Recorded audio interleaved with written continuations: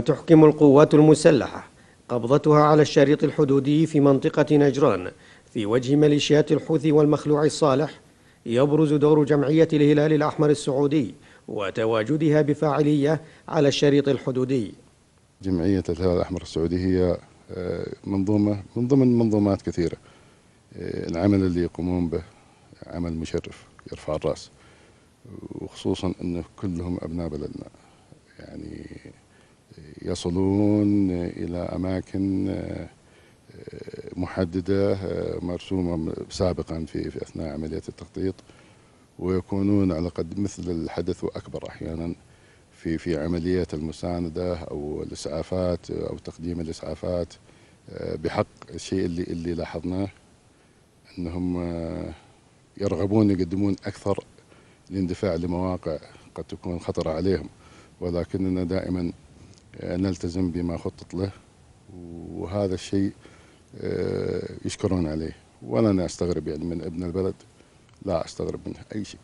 ويعمل الهلال الأحمر السعودي بصفته مساعدا للإدارات الطبية في القوات المسلحة على سبيل التعاون والتكامل للإنقاذ وتقديم الرعاية الطبية العاجلة.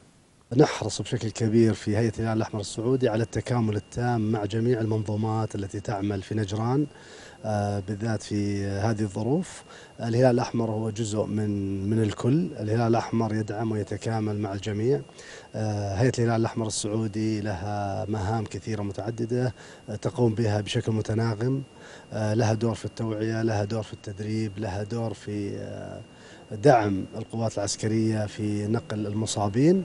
آه، والحمد لله آه، ما سمعته اليوم من زملائنا في القوات المسلحة ومن الحرس الوطني يدعو الفخر بأداء زملائي وأبناء المسعفين. يقدم الهلال الأحمر السعودي العديد من الدورات التدريبية ومعدات الإيواء والأدوية وما يلزم لعلاج المرضى والجرحى والعناية بالأسرى وتأمين وسائل الإسعاف في مسرح العمليات. علي زينان الإخبارية نجران.